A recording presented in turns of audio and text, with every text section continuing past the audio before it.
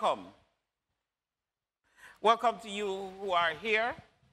Um, our brother David is here again. You know, enjoyed last week so much, he came back this week. Good to have you, brother David. And Evita is back, and a couple of other persons we haven't seen a little while back. We're so happy to see you. Welcome, especially to those who are online, those who are not yet checked in. Um, please hurry to do so. We are about to start our Bible study. Last week, we looked at the beginning of Mary's response. Where did we stop last week?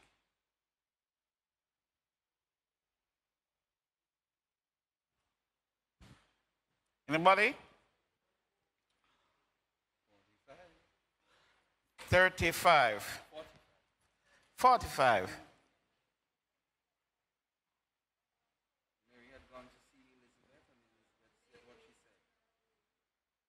Hmm. Oh. Okay.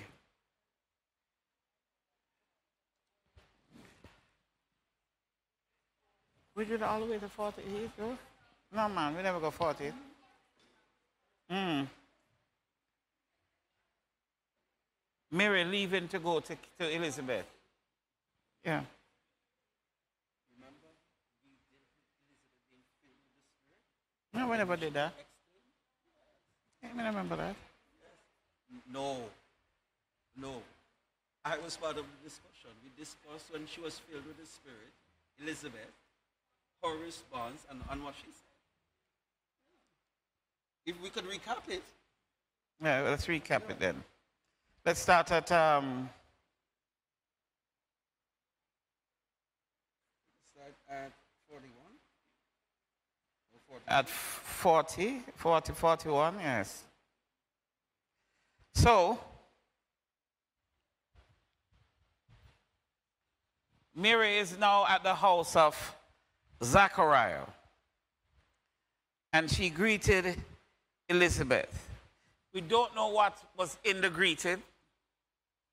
We have examples of greetings um, that are more detailed in the Bible, but that doesn't mean that it follows a pattern.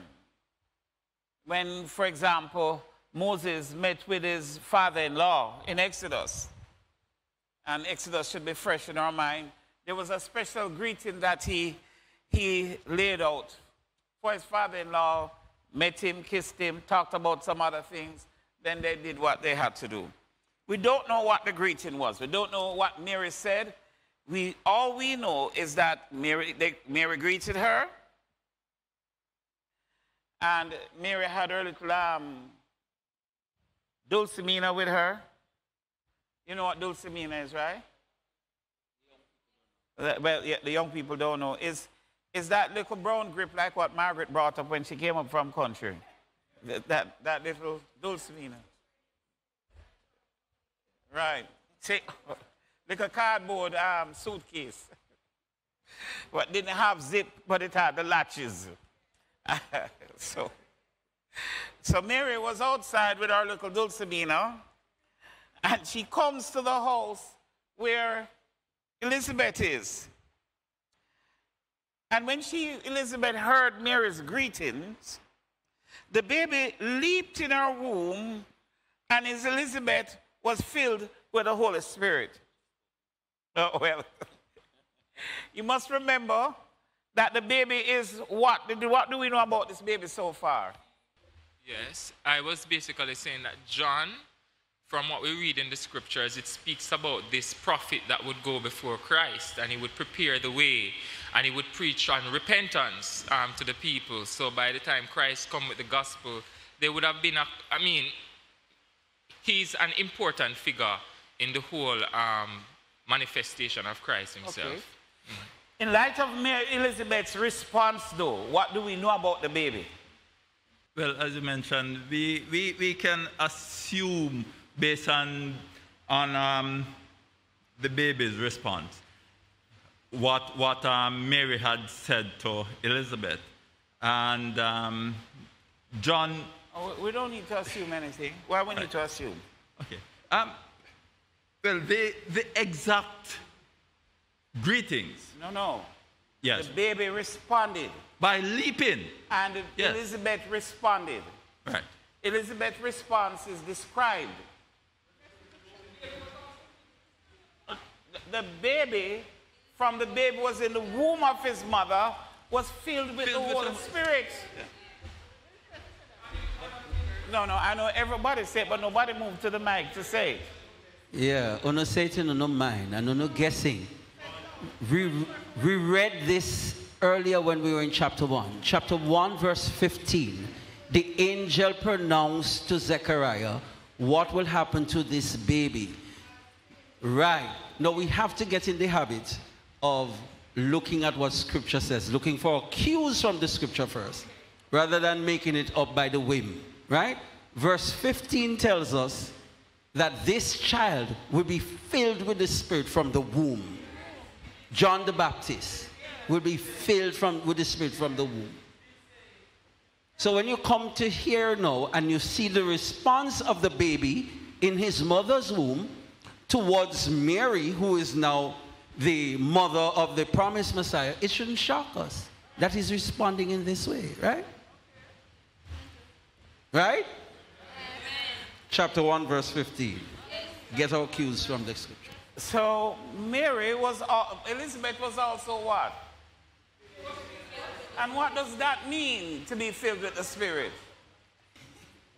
I don't hear. I need to go. But Can't hear unless you go to the mic. people don't hear either. God. To be filled with the Spirit is to be under the control of the Spirit. So, this wasn't Elizabeth jumping up and blabbing out tongues, screaming out and rolling and carrying on, running around the house like it's on fire or anything like that. This is Elizabeth now being moved by the Holy Spirit. And the Holy Spirit moved first on the child and then on Elizabeth. What is this? This is confirmation to Mary. Mary just heard that Elizabeth was going to be with child. Mary caught the first bus down, packed stuff, and was there with her little bag. When Elizabeth saw her, the child first reacted. The child reacted to whom? It's not so much Mary, you know, but it's who is inside of Mary. Ah. Right? So he reacted as forerunner to the Messiah that was in Mary's stomach. Then Elizabeth, no, without hearing anything, or we're not sure if Mary said anything to her, Elizabeth, under the Holy Spirit, starts to cry out with a loud voice. So Elizabeth was loud. She wasn't whispering to Mary, she was very loud. Yes, the excitement. Blessed are you among women, and blessed is the fruit of your womb. What made her blessed among women? That's right. Her God's choice of her. God's choice of her blessed her. Was a blessing for God to have chosen her. Mary had expressed that before. Now, Elizabeth affirms the pregnancy and says, Blessed is the fruit of your womb. For behold, when the sound of your greeting reached my ears, the baby leaped in my womb for joy. See? So the baby was excited about what is to come. It is amazing that we see a child not yet born in the womb of his mother excited about Jesus, and those who saw him were not. Those who saw him were not. So she pronounces a blessing, and this is normative. But here is something that we see about Elizabeth an expression. And how has it happened to me that the mother of my Lord would come to me? How has it happened to me? Is Elizabeth questioning what is happening? No. It's part of our proclamation. It's an expression of humility. How is it that God would bless me too, that I would be inside of all of this? There is excitement. And, and, and, and, and um, Elizabeth expresses it with humility. How could this happen to me? And here is the thing the mother of whom? My Lord. It is this verse that, and others, I guess, that um, Catholicism would use to say Mary, Mother of God. Mother of God. Blessed fruit of thy womb, Jesus. Right. Holy Mary. So all of that comes from this passage of scripture. But Mary is not called Mother of God anywhere in the scriptures. She's Mother of the Messiah. She's my Mother of the incarnate Christ. Yes? Yes? Um, interesting. Um, did Elizabeth knew personally? I know that the angels said to Mary when he went that your cousin Elizabeth is pregnant. So she would have known that Elizabeth was pregnant. What my what I'm trying to wonder is that did Elizabeth have um, the idea that Mary was carrying Christ, the Lord? Read verse 40. And the reason, yes, that's why, I, because I never wanted to jump and assume that. What does verse 41 tell you? Ye- Yes, that I'm saying it's it's prof- it's revealed to her by virtue No, of we, the. we don't know that. Oh well. see. We don't know what Yes, she an greeted her and say, so we cannot Yeah. say with any certainty that Mary said it or it happened then. What, what- but what we do know is that her, her proclamation is moved by the Spirit. That's the point I'm saying. so she's not guessing, Yes. she's not coming from the speaking out of her own emotion Yes. or volition. Yes, it's coming from Yeah? the Spirit of God. So, what the text is telling you is that the Spirit of God gave her the utterance to say that's what she was saying in terms yes. of that Magnificat. Yes, yes, that's it. Mm.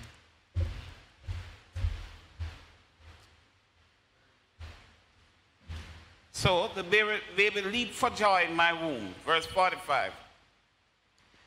And blessed is she who believed that there would be a fulfillment of what had been spoken to her by the Lord. Oh, I was waiting for you to get there. So I remember when we were having, I think it was the first time, the discussion, the Speak into the discussion about, the discussion about um, Zachariah versus uh, Mary. And the conversation was, how did we know that she believed, you know? So this, I would imagine that the scripture is telling, because Elizabeth is now saying that she believed. Yeah. Yeah? So I, I'm just saying observation, because I, recall the discussion, Right. the extended discussion that we had, Yeah. and you were saying that, oh, wait until we get there. So I guess this is there. It affirms. It Yes. affirms, yeah. Because her, her belief is demonstrated before this proclamation by Elizabeth. The, fact, that she get up and pack her dulcimina Yes. and go down to Elizabeth, so she believed because Elizabeth was an o- whole Yeah. woman. So you get an announcement say the whole woman pregnant. Ordinary us, well me, because we're not saved, made a kiss my teeth and said, sure, um, Elizabeth, it was one old woman, we're not going to waste my time. So her disposition and her, her response, belief is not measured by what people have up here, by their response. Her response tells us that. Yeah. Um,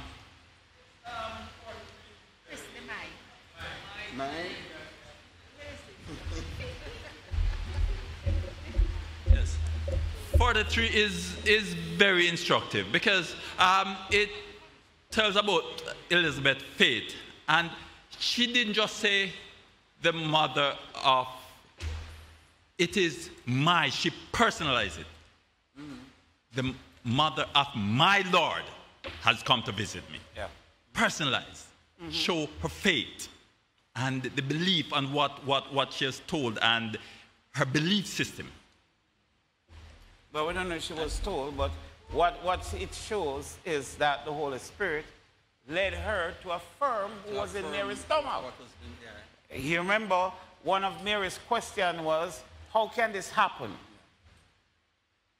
We had spent much night, much of the night discussing that. It was, it was not, it was not an expression of doubt,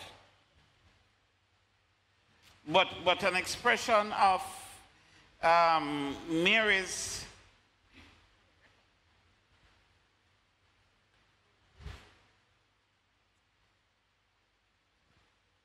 it was just incredible to Mary for her to think that a woman could get pregnant without a man. So the expression was not if it can happen, but how is it going to happen? Through Hence- process would God? So the angel answered Mary um, and told her. But one of the things that is striking is that part of the affirmation that the angel gave to Mary was, was Elizabeth's pregnancy. He says, You think is you one pregnant? Elizabeth down there, six months now she gone. Elizabeth, six months now she gone. So Mary finds herself there. Not, no, no, verse 37. For nothing is impossible with God. And what is clear from that is that Elizabeth did not come, become pregnant because of um, Zachariah's prowess. Elizabeth's pregnancy is an act of God because of the timetable and purpose of God that he was about to, uh, um, to, to roll out. So, this is an act of God. The child is an act of God.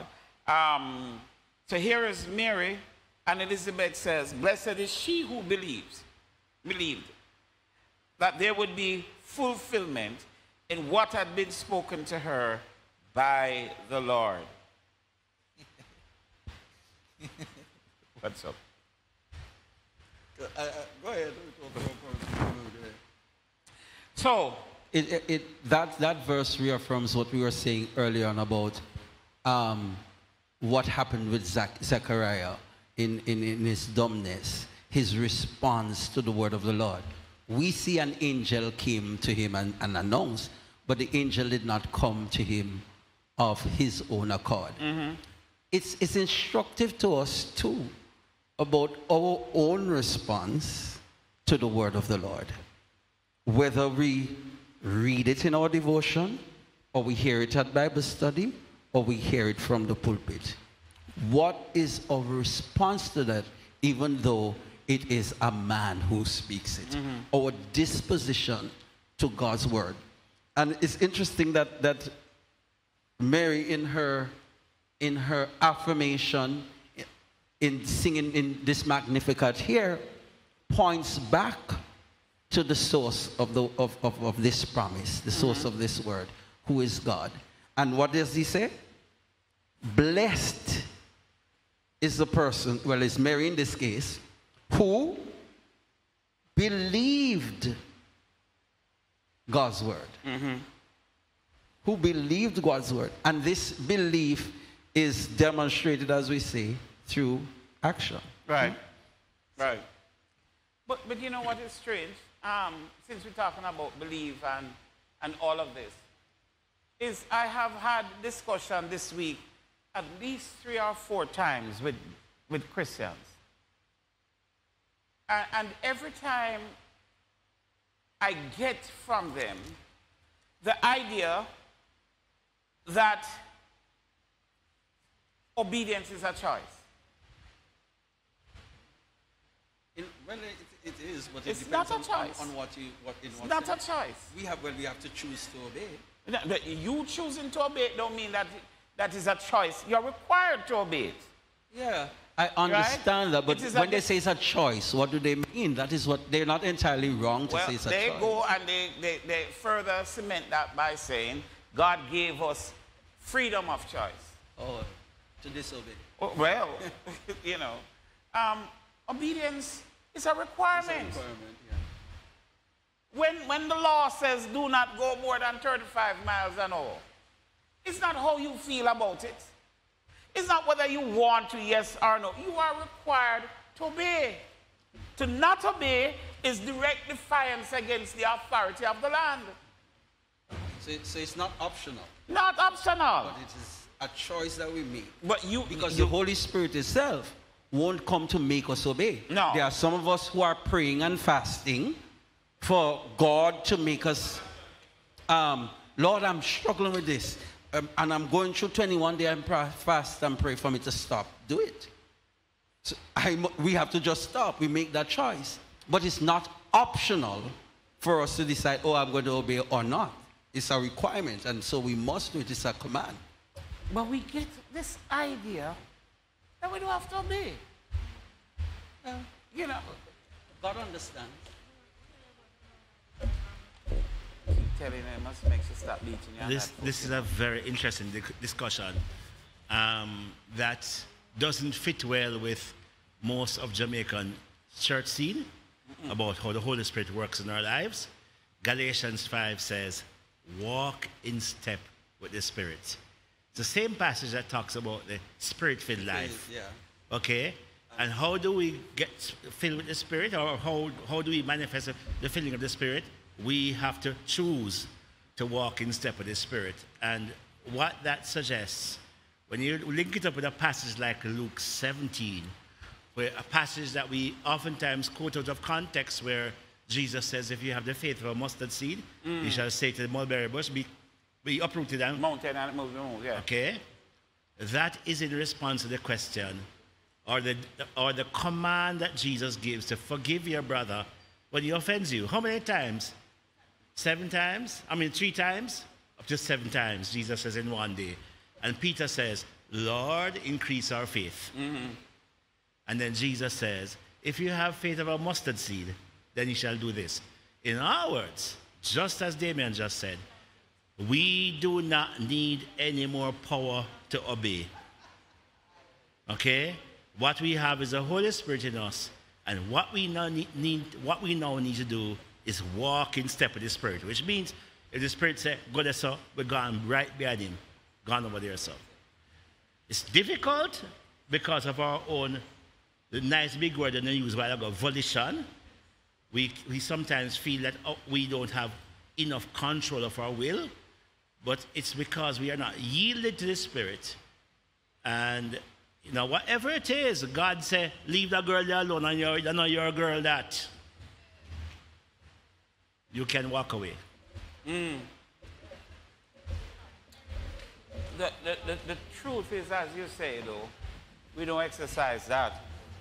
We don't exercise. We, we, we, there are so many things that are so foreign to the biblical truth that we have embraced as truth. Um, in, in, in the same breath like that is the same thing where we're always praying for revival. What are you praying for revival for? We need a revival. Things just dead. What caused it to be dead? It's your walk that caused it to be dead. Your relationship that causes it to be dead. What you're praying about, you need to start living it out. Yes, you know. But we, we have this. Yeah, we see a Troy, and we want to welcome Troy and Michelle. Um, they tried to see if they could get permanent visas based on COVID. Never worked out, so they were deported recently. Welcome back. So, Mary believed that there would be fulfillment.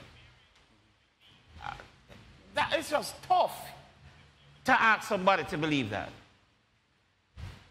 It's tough. But not if you consider who God is. And, and right through, that's what you hear happening.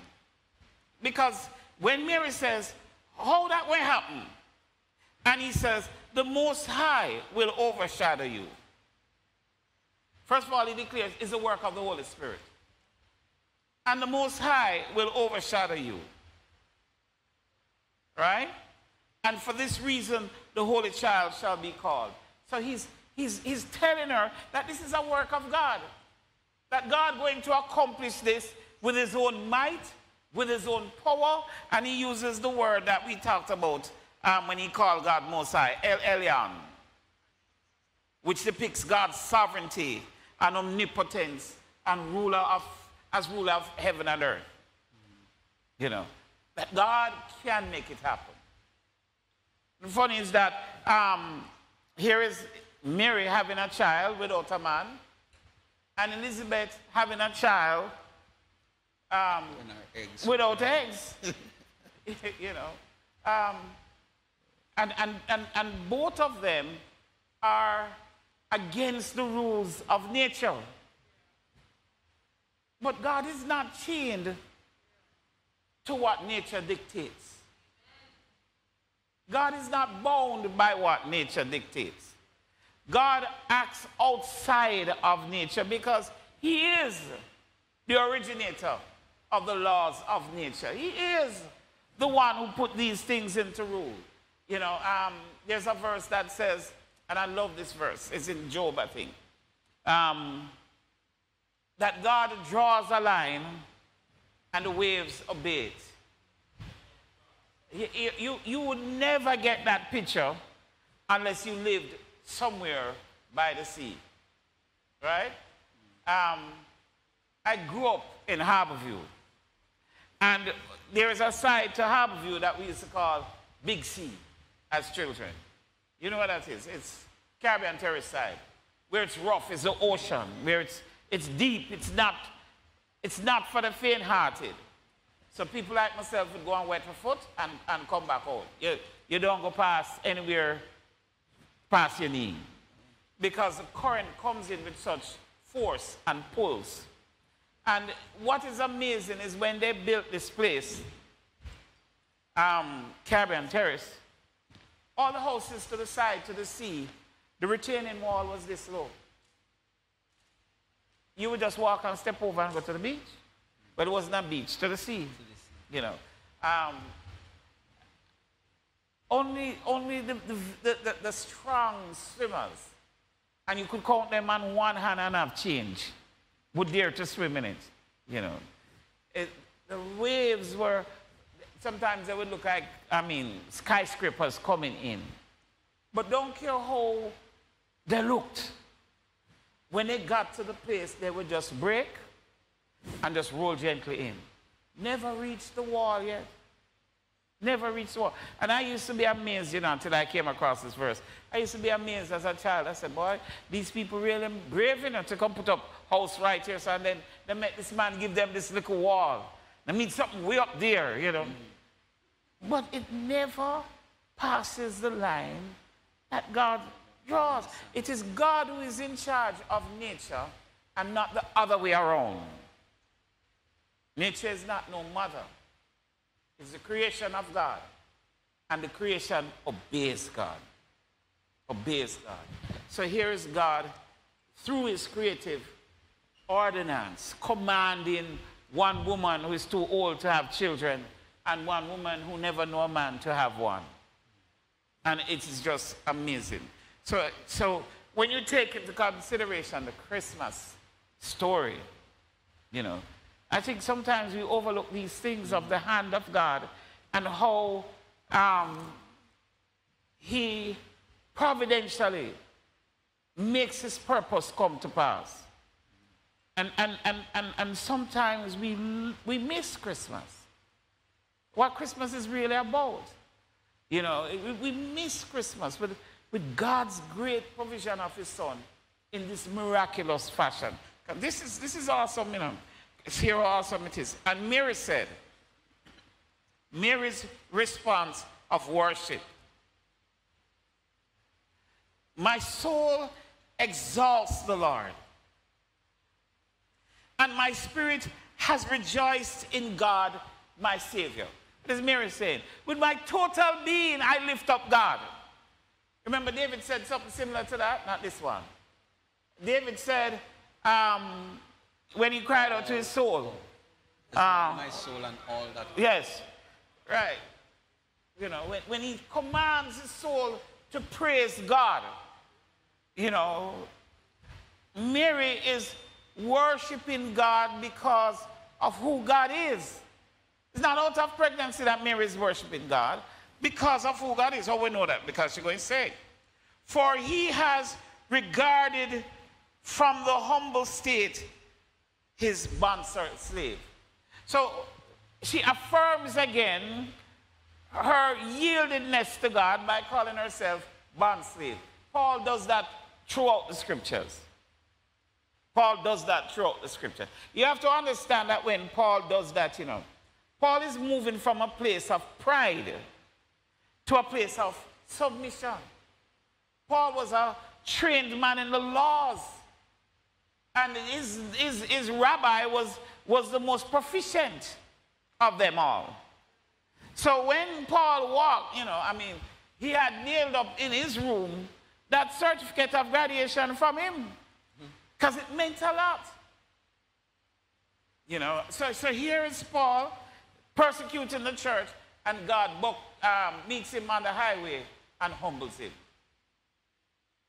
And humbles him.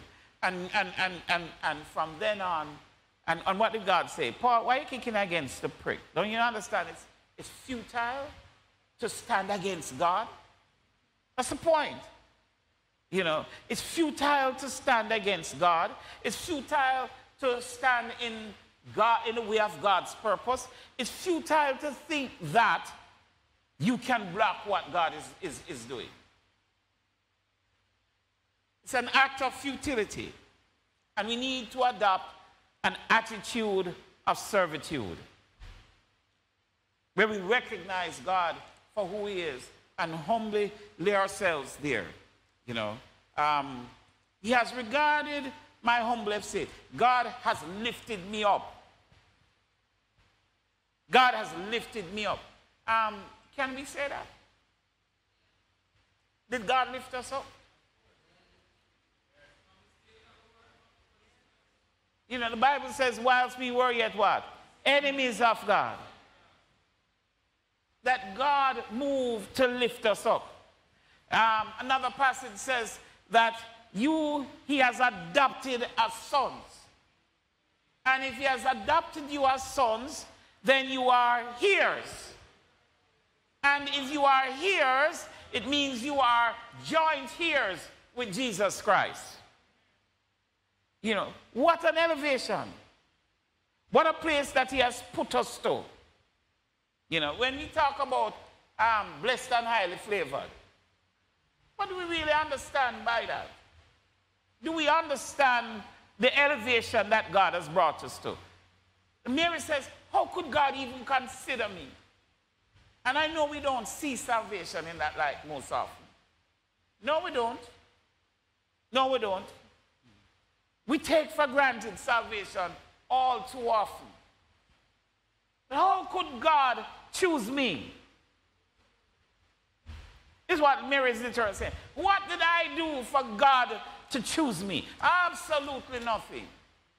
How did God select me? Because the Bible says, before the very foundation of the earth, Christ died for us.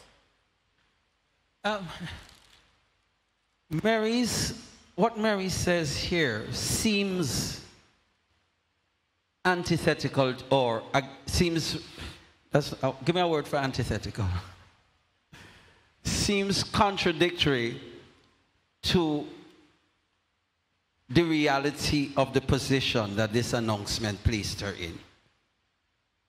Because very often,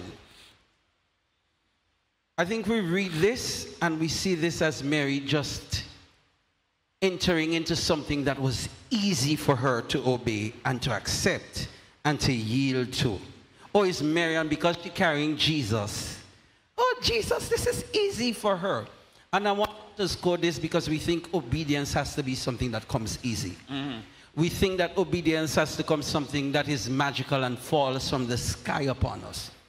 Mary, by virtue of the law that she was living under, was facing or could have possibly faced the death penalty for being now pregnant.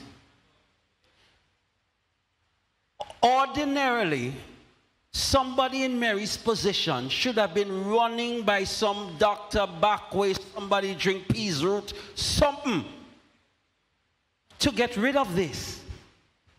So this is not an easy situation Mary is in to obey, to say, your bond servant. And mind you, Mary is no special, no more special than us in that she didn't have any special abilities that we don't have. As a matter of fact, we have the indwelling Holy Spirit. We might have been more privileged than Mary, but what is our response?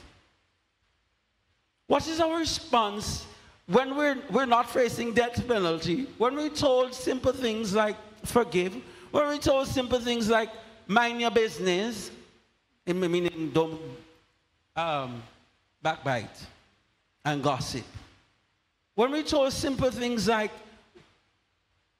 we called, you are called to service. We're not facing nothing, but we find it difficult. Those are the things that we say God understands for. Mm. But look at Mary's response. A young, quote unquote, naive girl who is facing danger responds in this way. So when we read this Magnificat, no, not this Magnificat, when we read Mary's song, we must read it with that understanding that this, this is Her response amazes me. It amazes me. And it says that this was a young girl of great faith. We, we want faith to raise dead people. Mm. Enough people go a funeral in this year Jamaica that may see with my own two front eye and praying for dead people to wake up. That's the faith we want. We want faith to pray for sick people to get well, but not faith to obey. Think about it for two seconds. Go, I, I just needed to stick a pin. The first three verses, Mary centers on what God has done for her. Did you notice that? It's all about what God has done for her. And, and, and, and that sets a pattern to us too in our worship towards God, are we, we sang a while ago, grateful. Are we grateful? Or would just like the song? The song nice. Yes, the song nice. The song nice. Are we grateful? She's grateful for God's honor, God's call, God blessing her. And then she says, from now on, people will recognize, God, that you have blessed me. See that? Verse 48. For behold, from this time on, all generation will count me, will consider me blessed.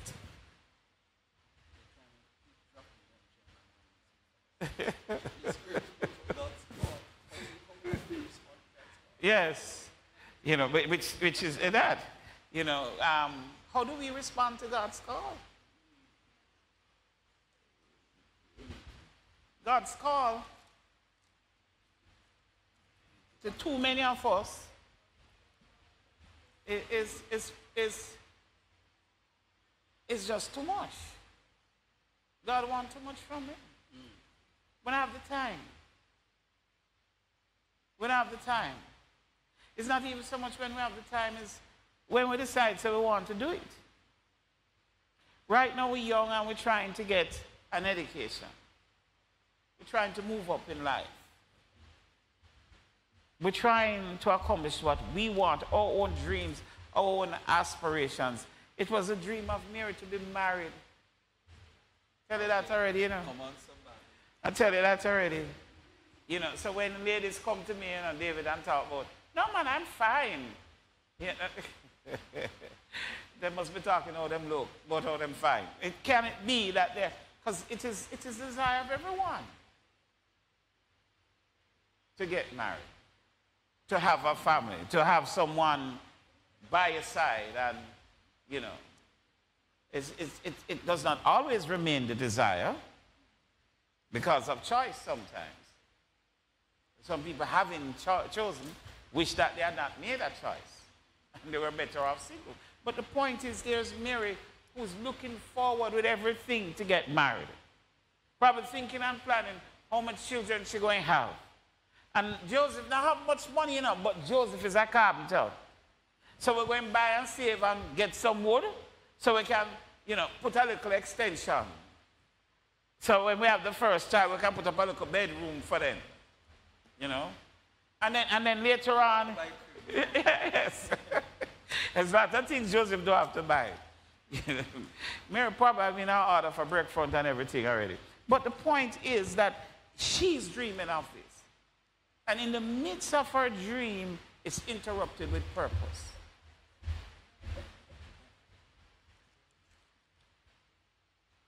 Purpose sometimes interrupts us. As I dare say, purpose most times interrupts us. It's not this needed plan? Yes. Listen, you weren't on my mind. Don't think that I sat down daily dreaming one day when I went stand before people and preach. Oh no. That was never a part of my plan. That was never my goal. You know? I was well on my way, doing very well. Yeah. I, tell, say it all the time. 25, and your house pay for. And you're looking for a bigger house. 25, and you're on your fourth BMW. How to make me 25, Lord? it's, not, it's not a show off. It's just to show you the track that I was on. And God just come and interrupts all of that and say, hey, remember we talked about Bible school when you was at UTE? It's time. You mean by it's time? Oh, we're going to go work that now. Let's work it out. And, and I, I made a plan for God. You know, I was going to go up, find a school in Florida, so I can go part-time, three days, maybe two days at two to three days at the week, fly down back, run the business, just go for the and then, you know, we see how it work out when I finish. And, and, the Bible school move and them never tell me. Application in, acceptance letter in, and them never tell me. And you know I saw that? Mm-mm, this is not God's plan. Not God's plan. Every Bible school I applied to put something in the way that was not God's plan. But you couldn't escape the call. You could run till you blew. You can't escape that, Scott. And here I was with, with all of that on me, and I said, All right, Lord, tomorrow morning we're going to embassy. We're going to check out a school in Florida. Because it's Florida we work out this thing for. That's my working. And get up to the embassy and embassy closed. It was July 4th. Who didn't know anything about American holiday? So I called down to my office and I said, there's a huge contract waiting for us to take up. And I said, get the people together, we're going to take up this contract. Going to take up this contract, get all the staff. We're going to make plans to take up this contract. Huge contract. Come down, quite convinced, God, Bible school enough for me. And get inside, and my sister hands me a letter from a friend who has been studying for the past five years abroad who never write me one time. But I see them all the time, you know, when they come home. Five years, and here's a letter from them. But I didn't read the letter um, from them, the note from them. I read what the letter said. Dear Brother Hall. Who called my brother? We are pleased to inform you that you have been accepted. Accepted to what? As a student of Carver Bible College. This Wrong address job. I never applied for nothing. And there was a stick note, and from my friend's wife, who says, Dear Junior, I don't think she even knew how God was using her. I looked, um, the other day it occurred to me that you had mentioned some time ago about Bible school, and I just felt the urge to write up an application in your name. I work in the dean's office and I spoke to him. This is the result. You can choose to do with it what you want. I had three weeks to leave Jamaica. Three weeks to leave Jamaica. Bless God. Never felt like a blessing. never, it never. No.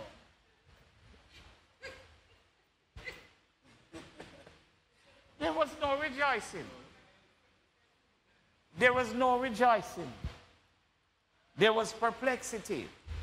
Not in the sense like Mary's perplexity, but more in the sense of, of um, Zachariah's perplexity. What is this God is doing now?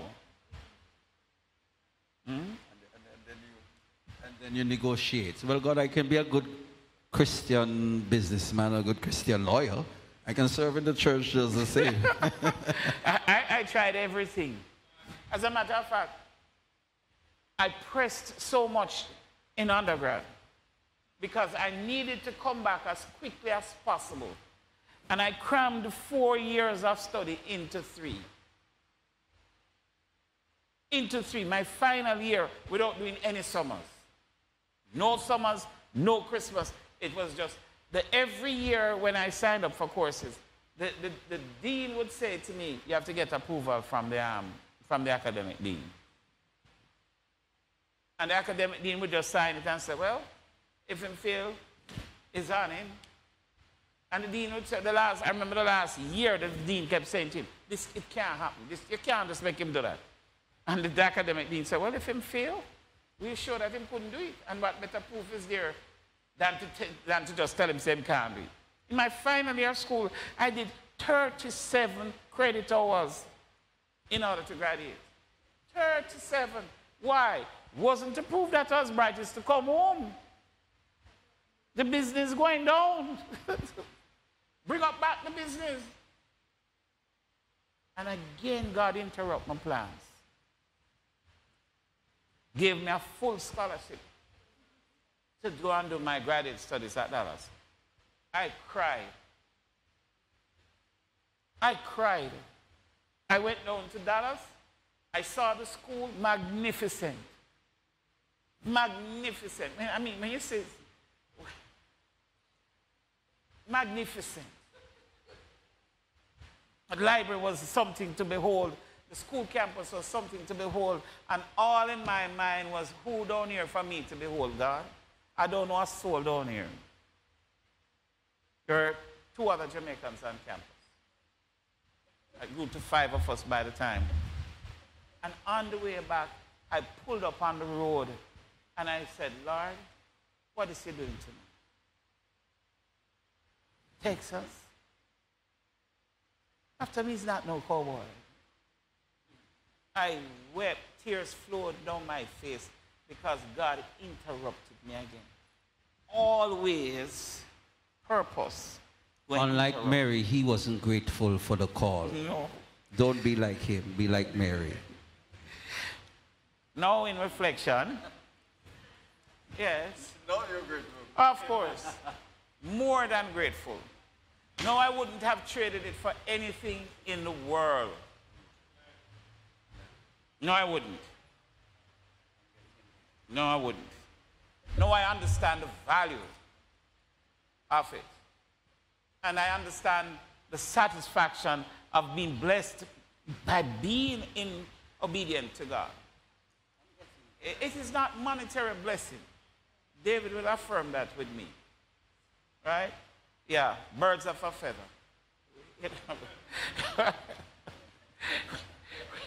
when you don't have any money, you keep friend with poor people so you can show off of them if them have any more or you have any more than them. And, and we, we work it that way. You know? It's not the material blessing. It's not anything like that. It, it is the joy of watching people's lives change. It is the joy of discovering that you're walking in God's purpose. It is the satisfaction of that, not the joy, the satisfaction of knowing that you're where God wants you to be, doing what God wants. And there is nothing that can compete with that. Of course, life hard. You think life is easy? You think things go according to plan because you're walking here? Greatest challenge to have stayed in it. And it continues to be a challenge to stay in it. Challenge every single day to stay in it. But God. So here's uh, Mary. Um, she walking in God's purpose too. You know, she should meet me.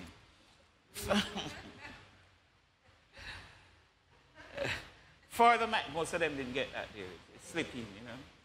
For the mighty one has done great things for me, and holy is his name. So she's first of all grateful for God's personal um, interaction in her life. She's grateful for what God has done. She's grateful for his elevation. She's grateful for his call. She recognizes the blessing that God would consider. But it's a blessing. Just think about it. It's a blessing for God to consider us, you know.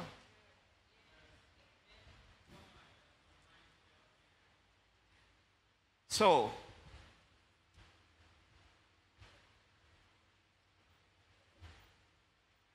and his mercy is upon generation after generation. So she goes on and she recognizes that God's grace and mercy is not only extended to me, you know. Like what, what we say, no, it's extended to us.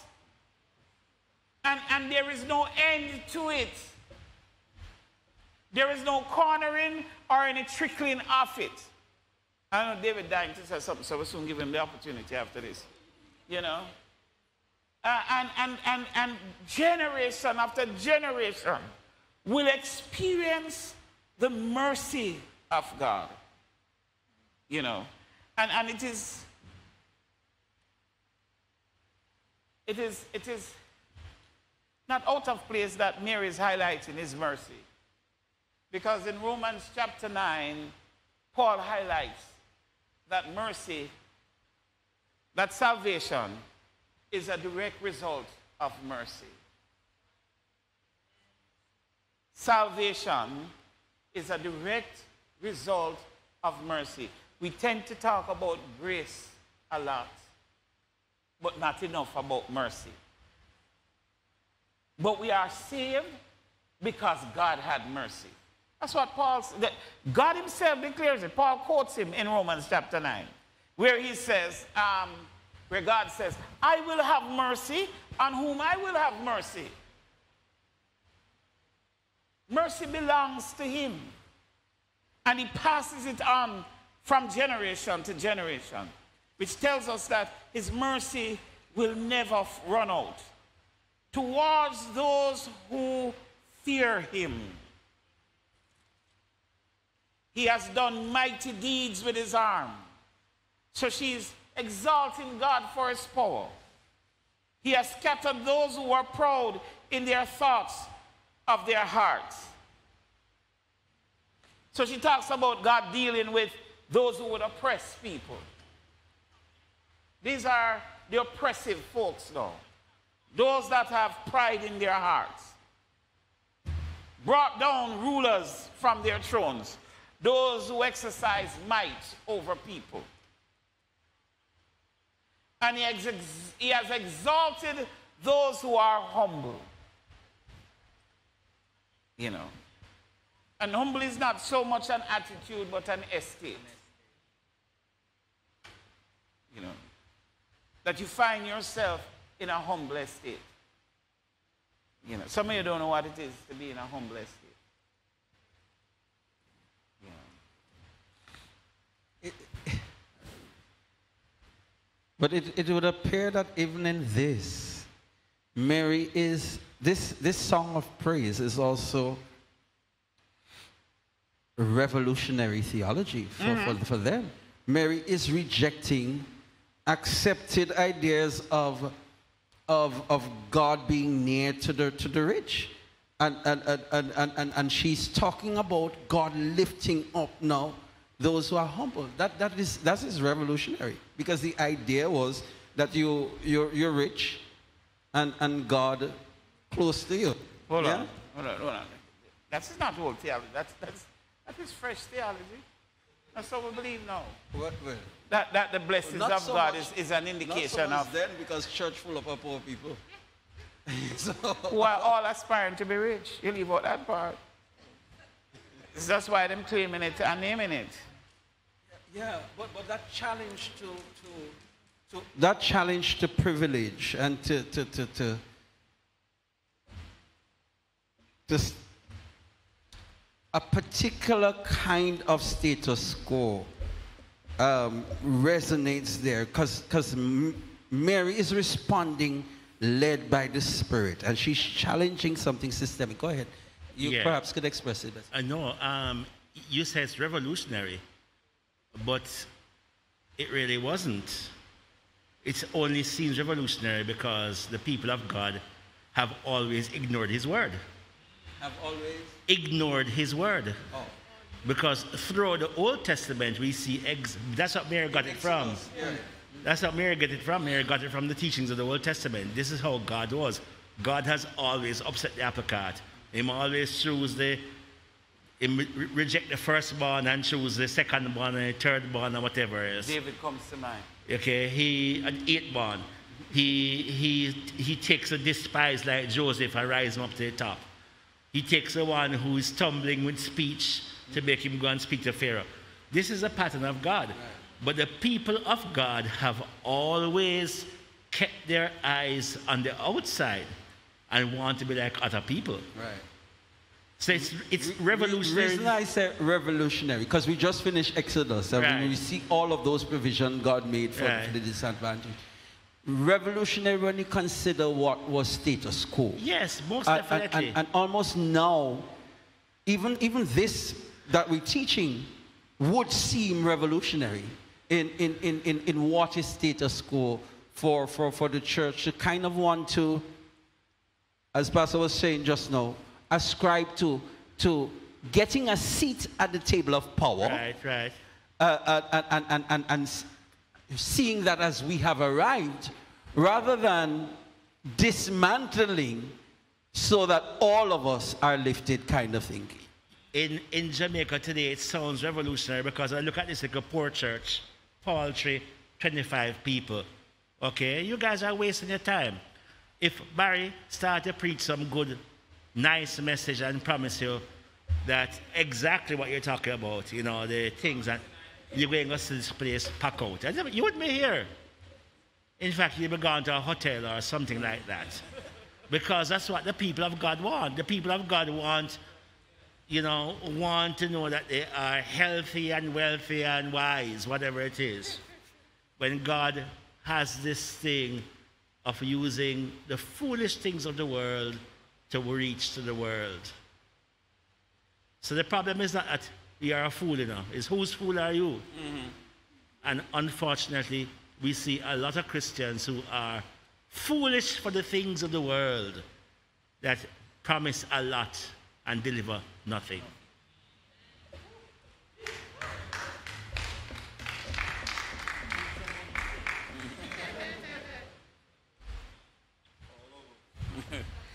He has filled the hungry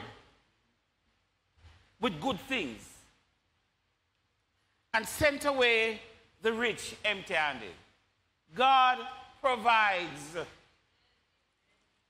The problem is, we all too often don't want His provision, we want our desires. It's huge problem in the church. So there's not a satisfaction with what God has provided because we want something else. He has given help to Israel, his servant. She goes back And now she recognizes that this blessing that is coming is not hers. It's not hers. You know, yeah, you, you know, we, we, we sometimes do that, you know. Um, why you think the Corinthian church desired the sign gifts? Because they thought it was theirs. They want something to show off with. Something that they thought set them apart, that made them better than. Same thing we do in church. There is no humility. And there is no recognition that all that I am and I have is for Him, for His glory, to the benefit of the people. We talked about that, where the Bible says that the gift you got is a what? The, the, the, the education and lifting up of the church. But you think, no, it's for me to get up there and talk, call myself prophet. An apostle. You know? You, you think that. That's why people want titles. That's why they want, they want a special recognition. I see them every day. In the spirit of Jezebel in the Old Testament. I see them every day prophesying, so called, when it's bad teaching. Jezebel didn't die or is to come. Jezebel continues. And the people of God succumb to these things. You can't be, nobody wants, I have not heard anybody call themselves servant of God. No, no, those things, no. We have to speak these things into being, and God, you're the head and not the tail. And that God didn't make you dog. Yeah, you know, all these, we, we come with these jargons. um. yeah, we come with these jargons as if, as if, you know, it, it makes something special. No. Mary recognizes that this is not hers to hold to. It reminds me of, um, what's your name in Samuel? What's the name again? Uh, Anna. Anna. Hey, let's come here. I don't want to remember her name. I should just walk into, you know. I wonder about. Yeah. Anna longed for a child so that everybody would stop looking down at her. Longed for a child so she could show her husband. That boy, it, it wasn't the wrong move he made to take her. Longed for a child to wipe disgrace and shame out of her eyes. But Hannah didn't long for the child to satisfy her own desires. Hannah said, Lord, I've given him back to you. I've given him back to you. And Anna does something that is incredible. And I know if today God was going to call her Anna, and probably would have to make her. From scratch. To say that you long for a child and now you have one, you're giving him back to the Lord. Give what back? Serious. I'm serious. This is how we live. And you wonder when we read Hebrews and we talk about the hall of faith where they're all watching and encouraging us. What are they encouraging us to? This church today, I, wa- I wonder, they must have wondered which race this. You, you ever got, you know, some, like when you got champs. You see some little team running and you even know the school colors, much less the school. And you turn on and you look in your book and you say, which race is? It's almost insignificant. Because the people not running. We're not, we're not into this. We, we're into us. She brought, she recognized that Jesus was bigger than her. Jesus had to remind her later on, you know. Remember he did? Remember he did? Mm-hmm. Yes, man. When David and all of them they go to the wedding, coming back, the children would run up and down. It's like a caravan and they would play and things. So if them didn't even miss Jesus, it wouldn't, it, it, it wouldn't be unnatural. But it's after a while, them say, but you should have come home, come eat already. You're there. I just mentioned it. You're in the caravan, fleeing. you know. And, and, and she just missed, she said, Joseph, Jesus, come get you. see Jesus? No, I don't see him, you know. You know, come home, come eat. No. I must say eat with them friend But when it take too long now, because boy, don't care which friend the mother supposed to go on to your mother now. You know, like when you you saw all of them start shake their head and them devil you are saying. When you used to go over your neighbor house and the mother said to you, all right, go home now, to go home now. yeah. Margaret, I hope you don't say that to them.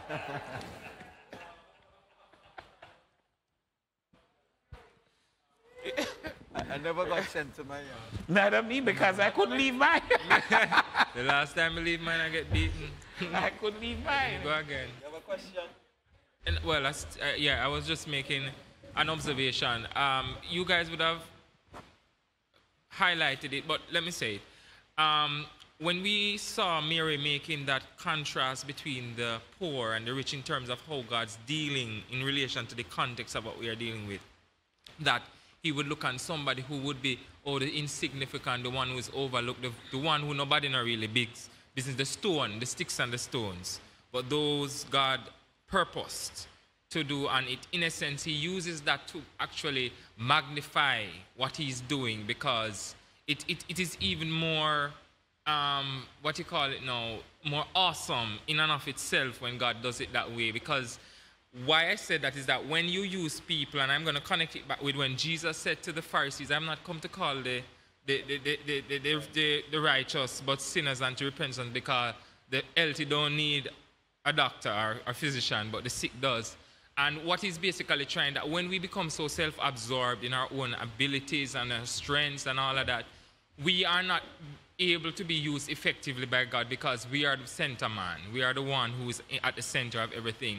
But as the, um, the songwriter says that um, in the light, what, what was the song? It says, things go strangely dim, right? Oh, in the, yes. in, in essence, what you are becomes insignificant before God. So much so that you are able to be used by Him because the things that you have, your accolades, all that you have achieved, are really, are really tools to be used, with, used for Him. Yeah. Thank you. Yes, did. Yes. so Mary acknowledged that God has blessed the nation of Israel. Um,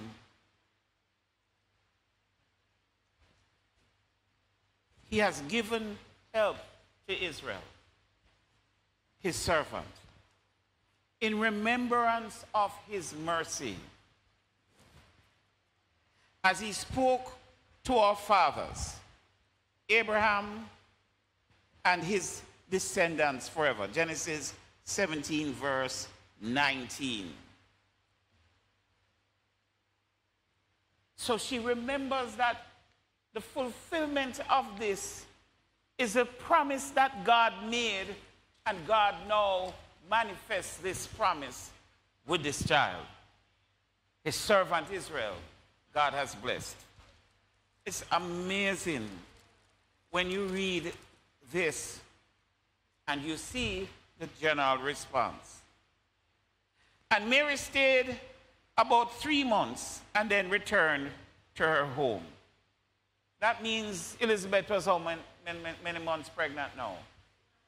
Nine. Nine. At the end of it. Yes. Now the time had come. Now, for, for, for most of the men who don't know, nine months is usually the time when the child is born. Yeah. Um, so now the time had come for Elizabeth to give birth. See, he's, meandering through the lives of both of them. It's time for Elizabeth to give birth. So you stopped with Mary. As I highlighted everything about Mary's and her response and everything. He goes back into um, Zachariah and Elizabeth. Now the time had come for Elizabeth to give birth, and she gave birth to a son. Her neighbors and her relatives had heard that the Lord had displayed his great mercy towards her, and they were rejoicing. How do you think that they considered God's great mercy being displayed towards her? Hmm? Yes, because she finally have something now. She's not walking around with teddy bear anymore. She has a child.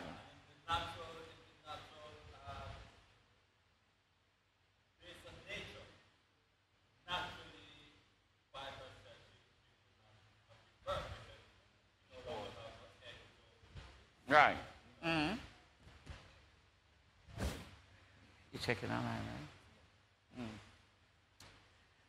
Um, so everybody come now and everybody celebrate. It's common in Israel um, that they would celebrate. They do not normally celebrate the birth of a girl child per se. They would rejoice at a male child.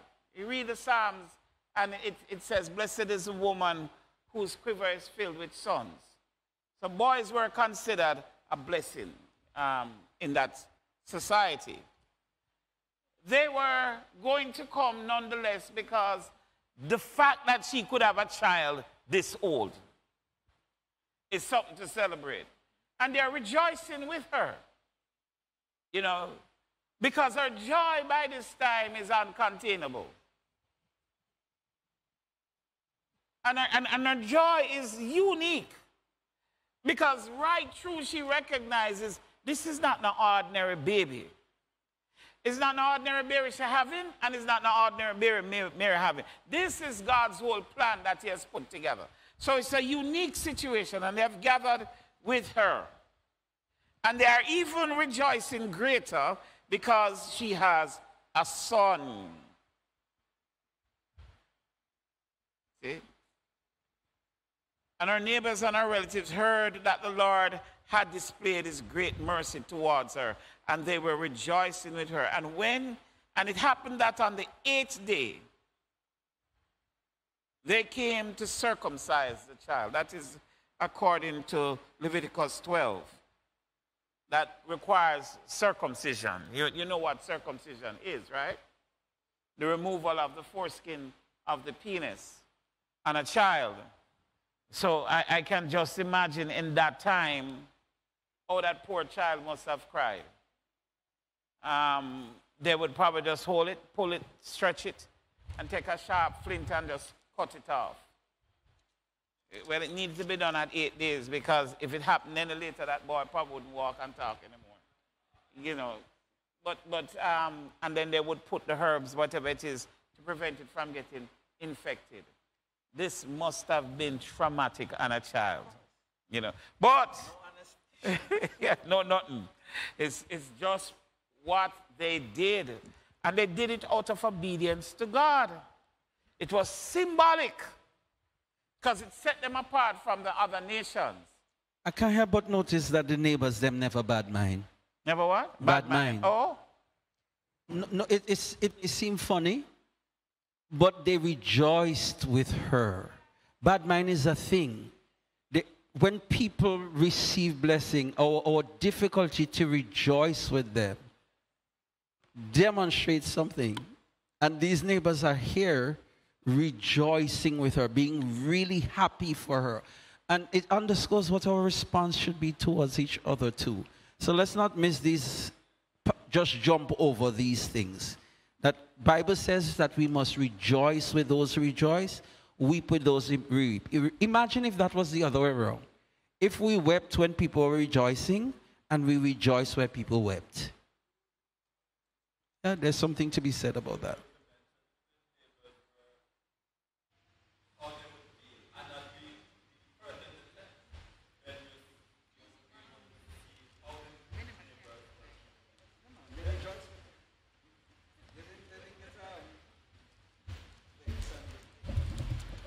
Um, as, as Damian mentioned, um, the neighbors rejoicing.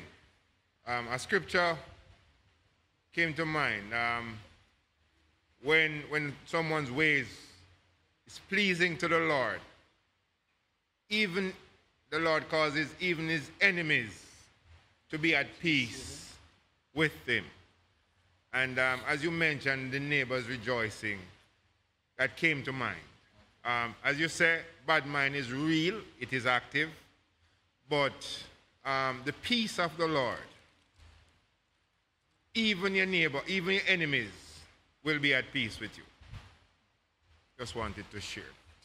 I just want to assure you that we are rejoicing with you. New shoes? New shoes, new pants, a new shirt.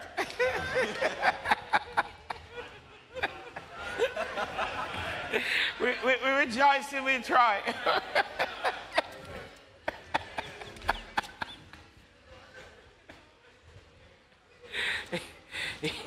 you could put on something a little later. though. Here we are all at once. Oh, Why don't be like Michelle? Michelle bringing it out a little at a time.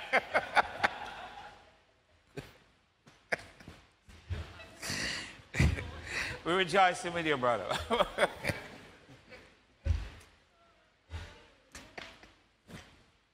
so, so it, is, it, was, it was also the time that they would name the child. They would name the child. This would be eight days after the child is born. Naming a child is more significant than what we, we do today. We name our children largely because of what it so like and it's so nice. They name their children for significance. The significance would be either what they hope that the child would turn out to be, or it would be significant in terms of um, the parental name. So it was time to name the baby. And they were about to name the baby, the Bible says, but we have run out of time. So we will see you next week. Um, no, we're seeing you Sunday. Seeing you Sunday. Sunday, 8 a.m., as we continue our theme, um, contending for the faith. Contending for the faith. And we're looking at the churches in Revelation. So see you on Sunday, 8 o'clock and at 10. God bless you until then.